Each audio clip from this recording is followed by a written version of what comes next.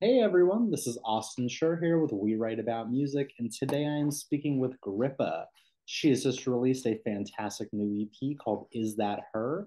And I'm super excited to talk to her all about it. Grippa, I want to sincerely thank you for taking the time out of your day to do this. It means a lot. How are you? Um, I'm great. Thank you so much for having me. This is um really exciting because I've never I've never actually done this before. So like Oh, nice. Well, it doesn't get better than this. I'll just say yeah, at the top. uh, yeah, obviously. Yeah, this is where this is where you peak right here.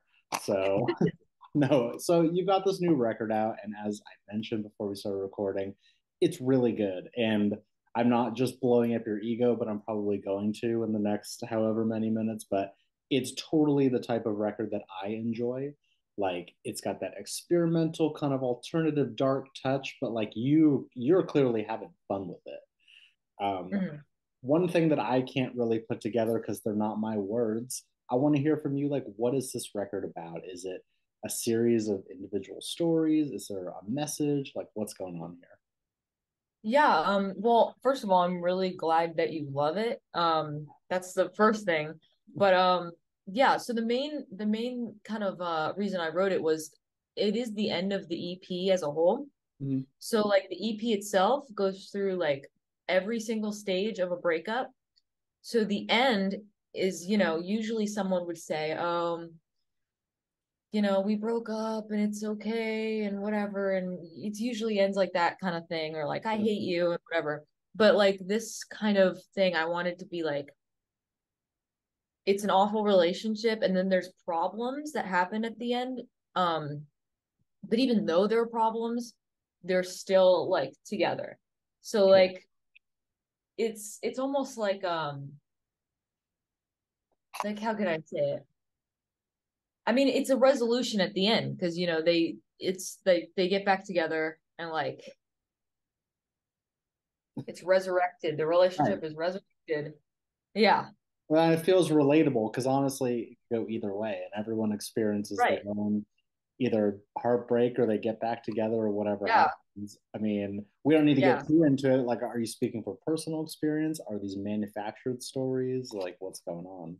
Um, well, this is all personal experience, and you know, I'm only 17, so Yeah. being in high school, like this happens a lot, and I've heard so many like songs about just people breaking up and like being upset about it, Yeah. but I've never actually heard the reality of people getting back together. And even though like there's those problems in that like toxic kind of environment, you know, you can never like stray away from that person because they're the right person, you know? Yeah, yeah I totally get it. There's always going to be a connection there no matter what. right. Yeah. Myself, for sure. Um, another main standout, obviously, on this record is it just sounds great.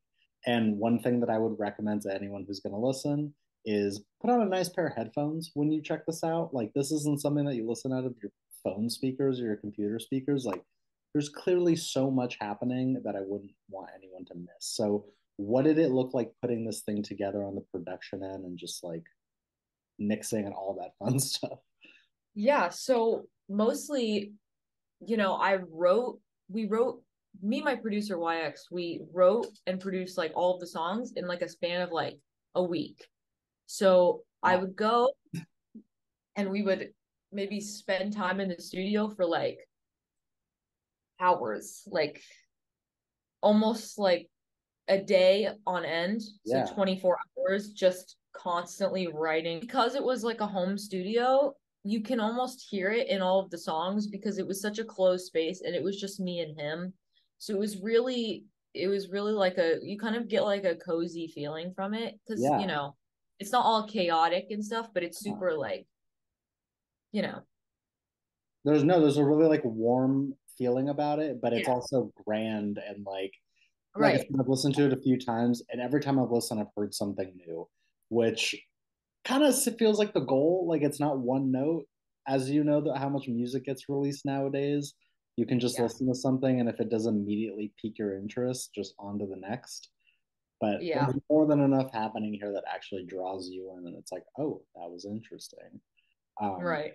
But like it left me with questions on the sound and the style and the genre because I mean, I want to say like it's rooted in pop, but pop means so much and music nowadays isn't just pop rock or r&b so like what are you calling this? How are you explaining it to people that haven't listened to you before?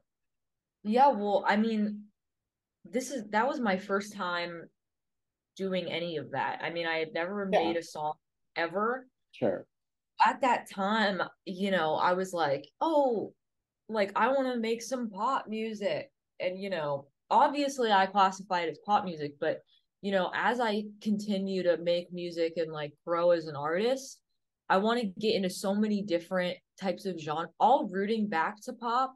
Yeah. And you know, this, this first album was very like slow and um, you know, it was it was. It, I I don't want to say indie pop, but it's still um kind of it's not definitely not like dance sure. pop. No, definitely exactly what you're talking. Yeah, about but definitely as I'm growing, like I want to go through so many different genres that you sure. know, not just stick to one specific one, but all all under pop. Yeah, and that's the thing is like you're obviously young, and this is a newer yeah. venture. You can't just decide something for yourself right now. Like it's it's not even that, but it's just the technology that we have when, in terms of production. Like you can do anything you want, and that's part of the fun of experimentation also the fact that you're the one putting the time and energy in it should be something that you want to listen to and put in put on in the car like not just you know you're making music for other people right. yeah yeah so yeah. what does the future look like i guess like are you the type of artist that's always working on the next thing are you going to try to expand that sound what are the plans um, like, that you can say i don't want to put you yeah, yeah. Much, but I mean, the next few songs and hopefully for like a while is going to be like completely different than the first. Okay. Um because it was my first, you know, EP, like I really didn't have an exact idea yet what I really really wanted to do. Yeah. But like going into the new stuff like um I can tell you I have a new song that is going to be coming out called Lust for Life.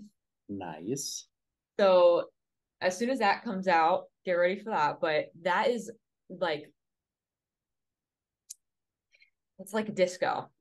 Okay. So like dance pop, like super fun, you know. So it's not no more of that kind of slow basic kind of even though that's great and I love it, but right. um the new stuff is going to be completely different. It's going to be a lot more like fun.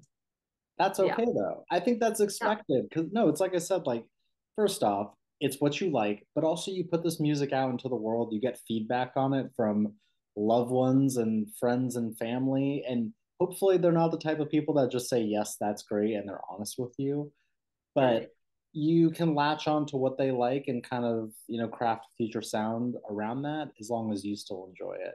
Why not yeah. throw everything at the wall and see what sticks? Yeah, definitely.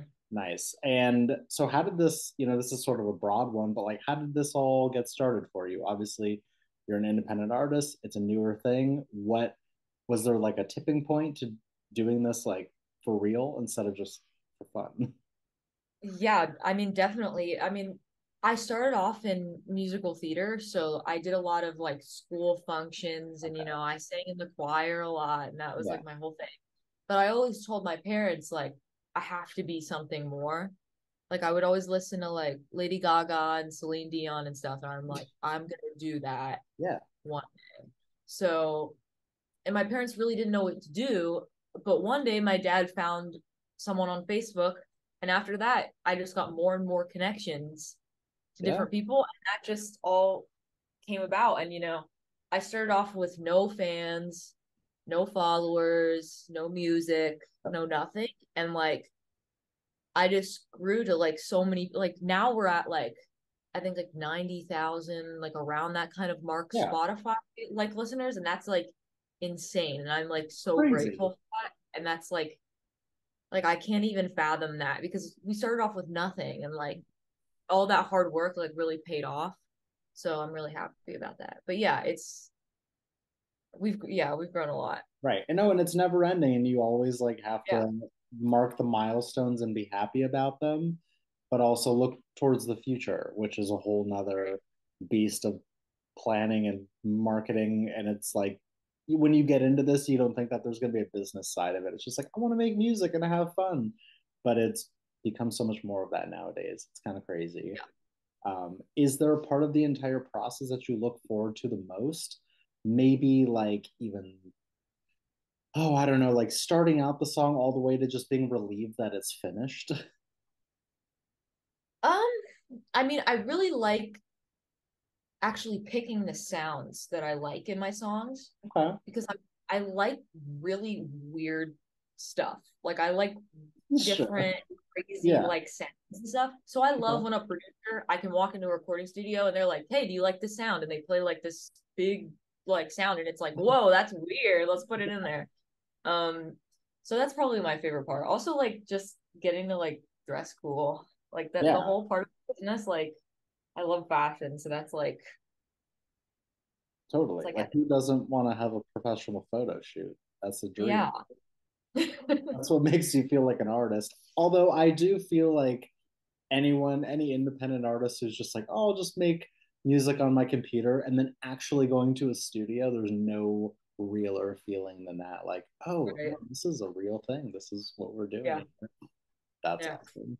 Um, now obviously you're still building your discography and doing that but have you played shows? And if you haven't like is it something that's in the works for you?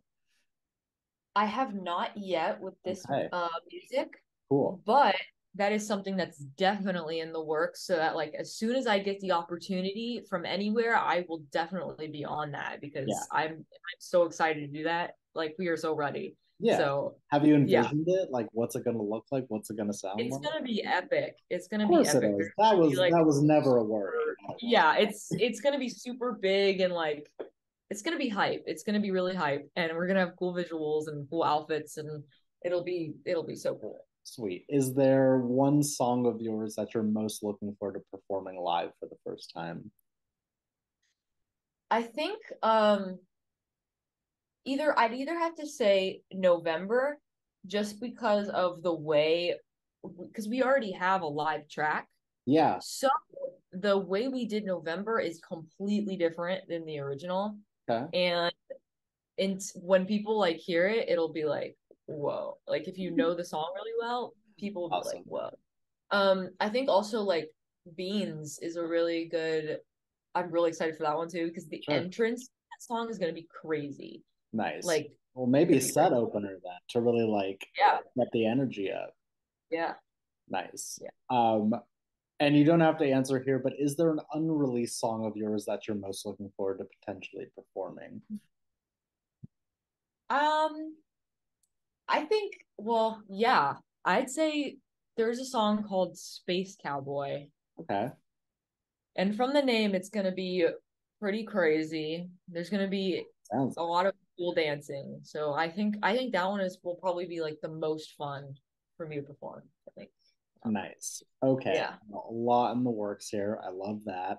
Um, even though we're in the middle of April, which is kind of wild at this point because I I still feel like it's January for some reason. Yeah. What, yeah. What are like some major goals or just like some lofty things that you'd like to see happen by the year's end? Could be personal, doesn't even have to be music related. Yeah, I mean, definitely like I have a big goal of um at least hitting like a million Spotify listeners, which I think we can do. Yeah. Definitely. Um, but like a huge dream of mine is like performing at like Madison Square Garden and stuff. Like oh man, yeah. Millions yeah. and millions of people. Like that's just a goal in general. I also want to like bench like 180, but um that's that's awesome. yeah, obviously, Madison Square Garden would be cool, but like, imagine Madison Square Garden, but you're benching on the stage. You know, it's like yeah. Well, that turns into be, like a bodybuilding yeah. contest. Yeah, let's do it. definitely mix the two together. That would be. I've never seen. I've been to thousands of concerts. I've never seen it been done. so I love it. Okay, cool. Well, yeah, now I know what to expect. Oh, that's amazing. Um, I I have a couple more questions for you. I I want to know. Obviously, I want to know what you've been listening to. Um, what kind of inspires you, but also is the music that you listen to like do you actively try to emulate it or do you avoid listening to certain music so as to not copy it? Yeah, um, well, I listen to like everything. Like if you look at my playlist, it's like every single genre and like there's some really weird like just random songs in there. So Yeah, it's like that's definitely, you know, um one of my biggest inspirations is Lady Gaga. Like sure. she's just, you know, because she's she's not just a singer, she's an artist, and that's kind of what I want to pursue. Definitely don't want to like copy anyone, but having those people as an inspiration is definitely like a great thing. And like I also love listening to like Doja Cat because she's Sure. so entertaining. Like Yeah. I love her. Um, let's see. I mean, those two are big ones. I I do also listen to Ariana Grande. I think she's a great artist too. Like her is. performance, like her music videos are really crazy, and I like I I love that. Yeah, I mean, I, I hear the artists that you say, and I know that their artistic vision, and I hear influences and inspirations in your music, but it is such a difficult thing nowadays to really like differentiate yourself. Everyone's making similar sounding music, but I sincerely say like it does sound different. It does sound original and fresh, which is so difficult, so difficult. And that's why I really like this record. Um, my my last question for you here is it's basically for the person that is going to discover you from this. What is an opening message that you'd like to say to them before they listen to your music for the first time? Hmm, that is a good question. That's why I saved Um, it for last. um, it's probably that you know when you listen to my music, you can hear kind of where my heart's at, and mostly that whatever I'm doing, whether like whoever it's for, whatever, you know, like I'll always put all of my passion into it Sure. And you know, I'll love what I do. And I think that you can really hear that in the music and I think that, you know, it's my whole life. So I think that that people should know that when they listen so that they can really hear that That's a great answer. You've convinced me. I'm in. Um, Grippa, I want to thank you so much for taking the time, but please let me plug your music for you one more time before we wrap up here. Um, if you guys missed it the first time around, the EP is called Is That Her?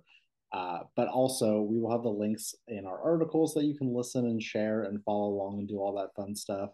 Obviously, there's a ton more headed our way this year, new music right around the corner. So now's kind of the perfect time to pay attention. And I want to thank you so much again. This has been a great conversation. Thank you. This this was a great conversation. Thank you so Nice. much. You are very welcome. I hope to speak soon. And yeah, thank you. Yeah, thank you so Awesome. much. All right. Have a great rest of your day. Bye You bye. too. See.